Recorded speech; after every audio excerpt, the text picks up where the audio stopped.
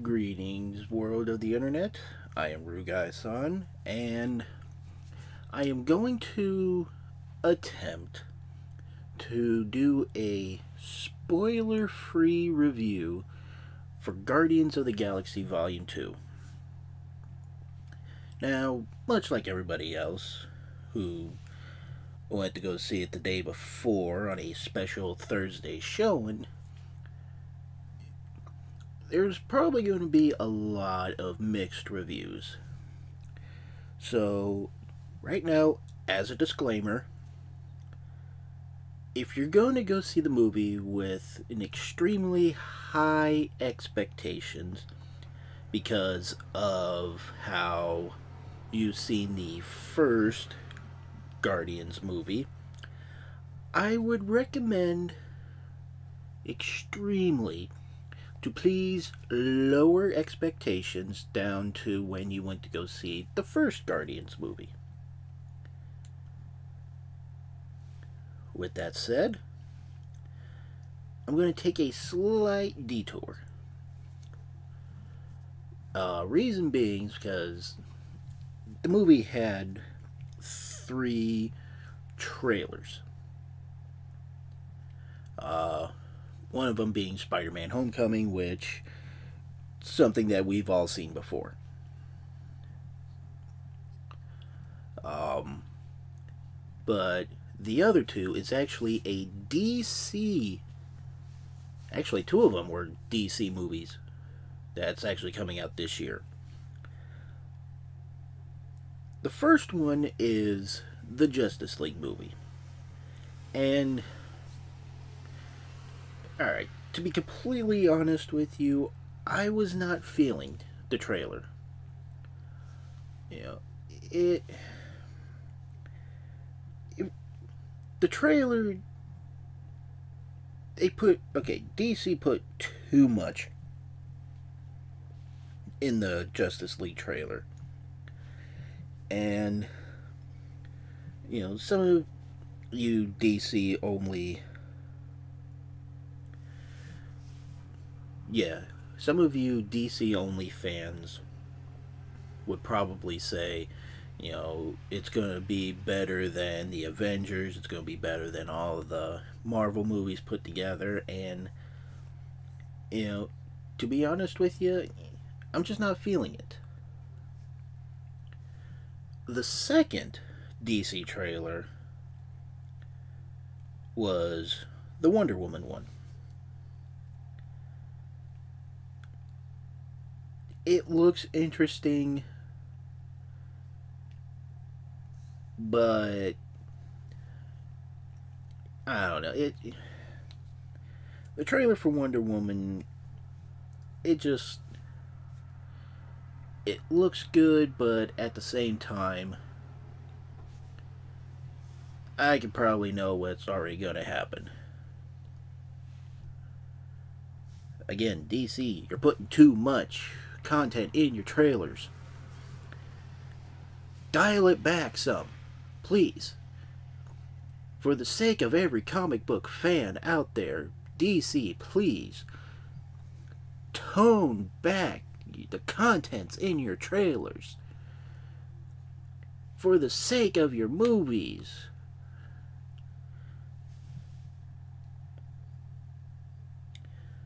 Alright, so now we got that out of the way.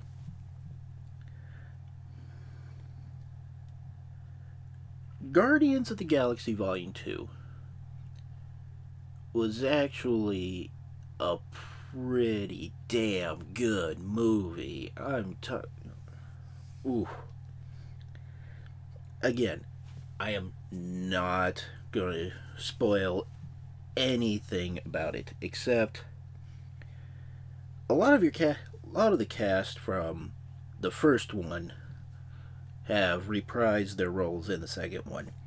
Chris Pratt as Star Lord, Zoe Saldana as Gamora, uh, Dave Batista as Drax, Bradley Cooper as Rocket Raccoon, Vin Diesel as Groot.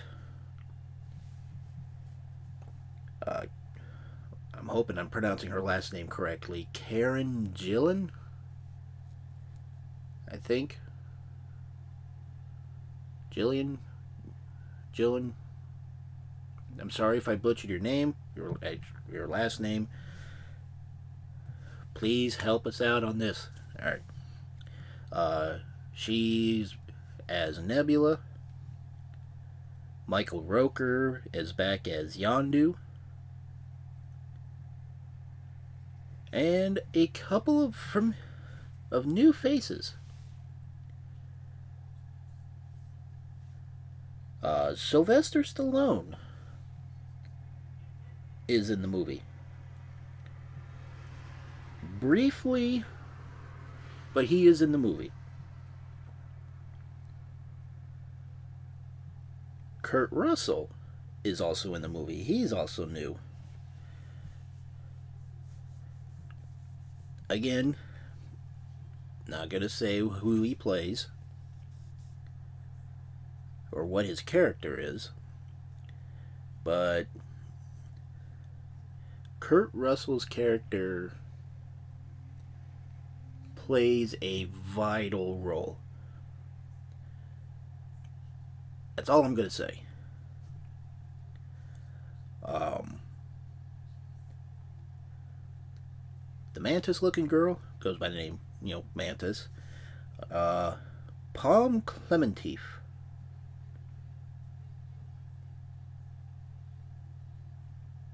I think that's how you pronounce her name, or at least last name.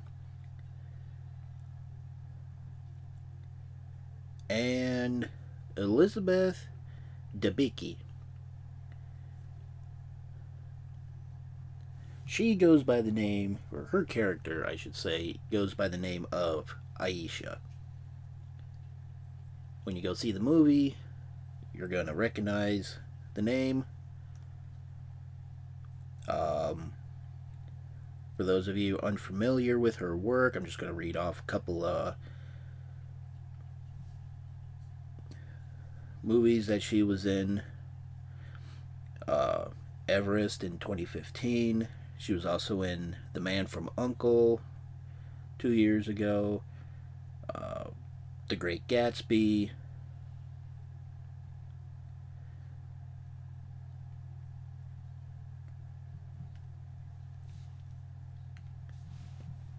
Like I said, the movie itself was pretty damn good. Again, like I said before in the disclaimer, please lower your expectations. Like as you would when you go see the first Guardians of the Galaxy. Um,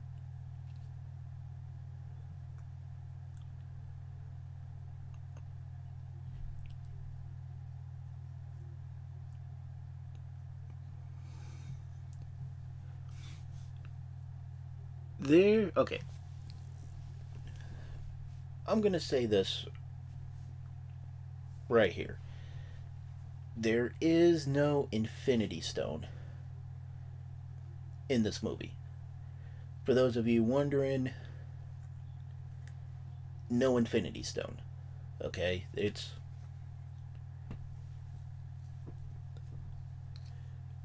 there's really no need okay probably actually the only single spoiler I will say about this movie.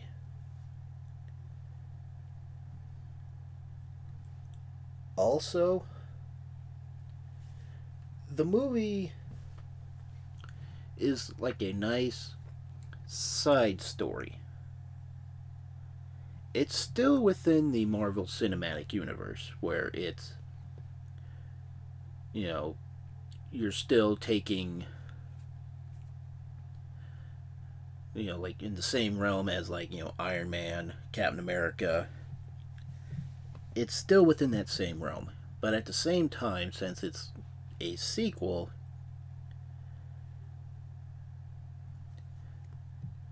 they went in a bit of a different direction while still maintaining the events leading up to Avengers Infinity War.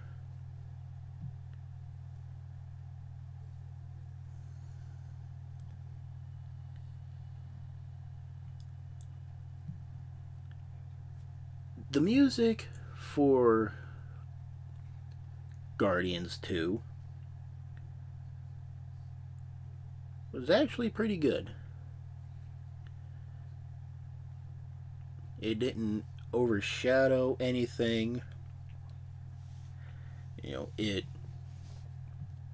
actually helped accentuate the movie in parts where it needed to be.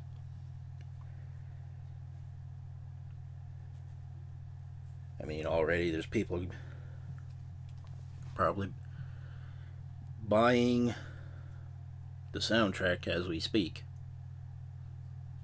or have already bought the soundtrack, or probably finding the soundtrack on YouTube or whatever. Google, the Apple Store. Anyways.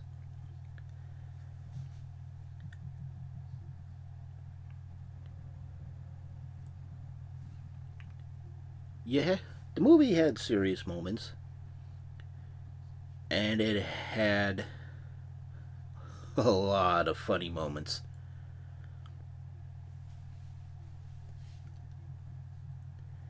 And it took a stab. Not going to say what, but when you do go see it, you're going to see where they took the stab at. Um,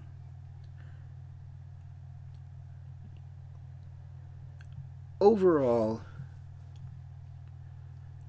I would give this movie a 9.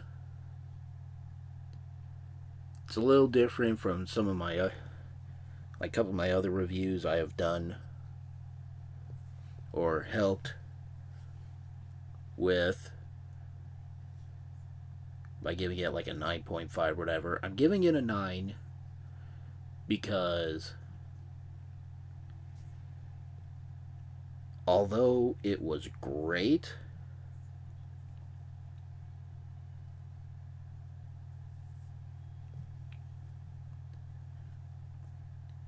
few of the scenes would be slightly rewritten better.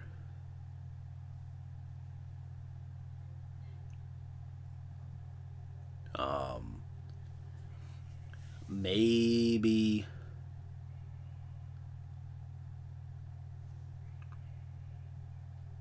done a couple of things differently. But overall, it was highly enjoyable. Now, for those of you wondering why I said this was a nice side story, I'm actually going to clarify that better. The reason why I say this is because I don't want to say it's a distraction. Because, you know, as good as this movie is, again, you know, it's still part of the cinematic universe. It's still helping all the other Marvel movies and possibly TV shows if they ever decided to bring them in for the Infinity War.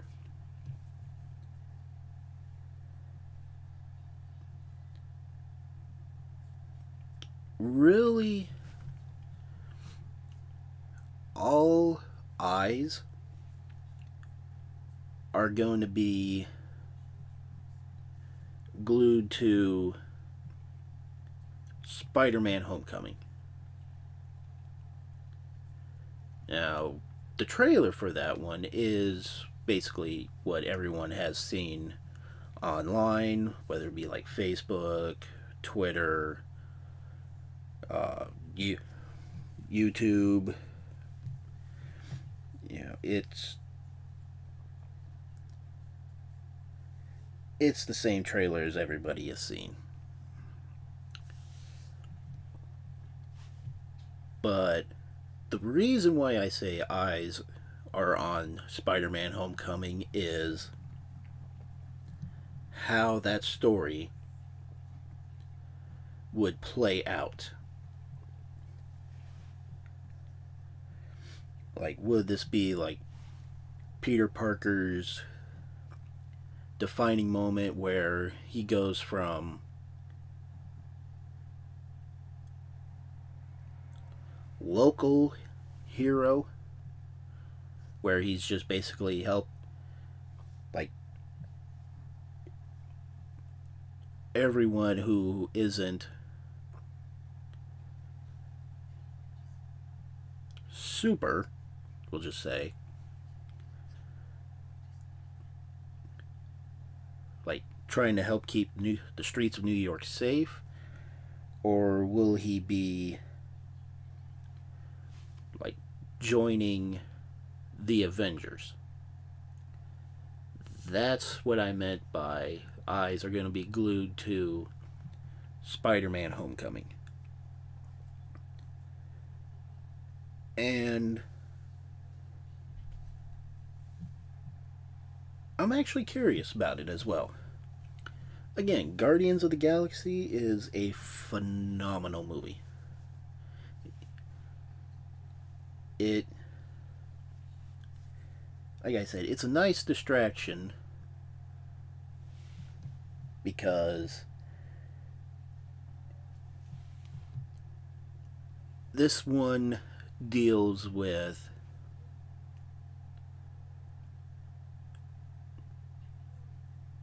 a bit in the single character development.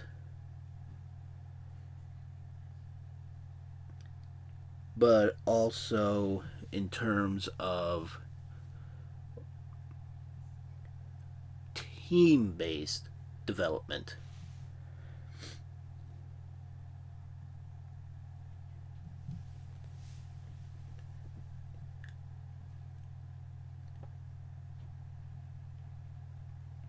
like I said, I give this movie a 9. It'll probably hold maybe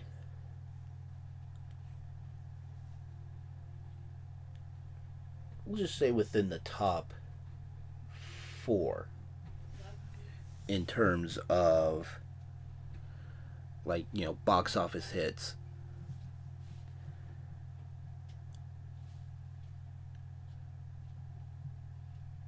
Other than that, I do recommend you go watch this movie. It does some explaining. Again, I'm not going to say what. If you need a refresher about, you know, the Guardians of the Galaxy, you can watch Volume 1. Either on Amazon, um, bought it off of Google, the iStore, you bought the DVD, you bought the Blu-ray,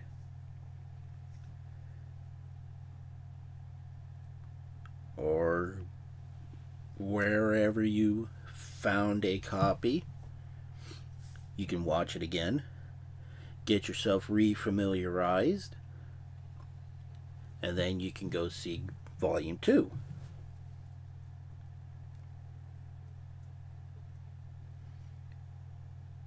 With that said, thank you for watching this spoiler-free review.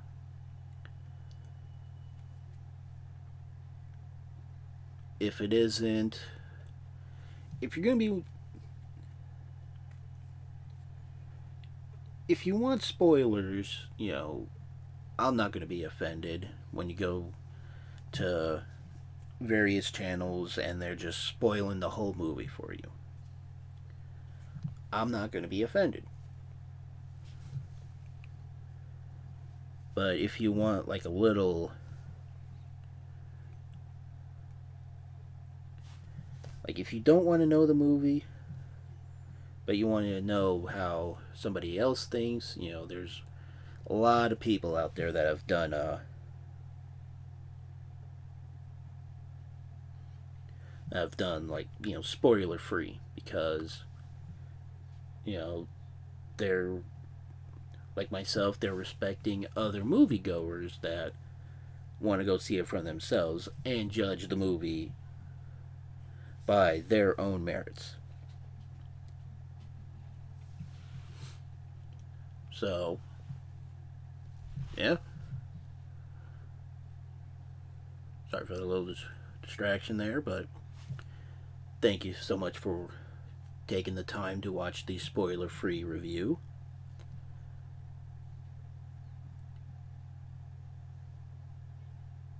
And if you want to, check out some of my playthroughs on games on this very same channel. Or you can check out some of my other reviews for games I did before.